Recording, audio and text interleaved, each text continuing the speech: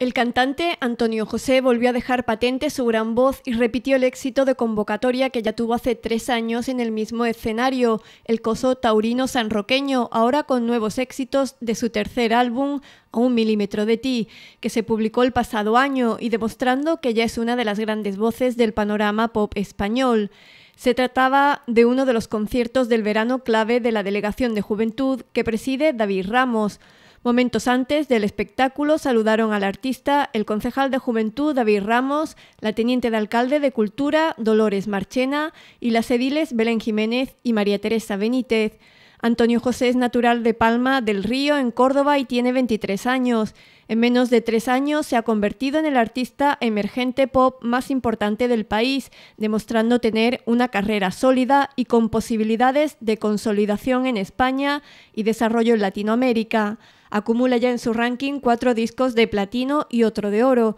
habiendo estado ocho semanas en el número uno de las listas de ventas oficiales y de iTunes. Involucrado al 100% en la composición de sus canciones, colabora con compositores como Antonio Orozco, Bebe, David de María o encima de los escenarios con artistas como Antonio Orozco, Carlos Rivera o Pablo López. Su tercer álbum, A un milímetro de ti, está producido por Mauricio Rengifo, Andrés Torres y David Santiesteban, una combinación que ha dado como resultado un trabajo lleno de éxitos.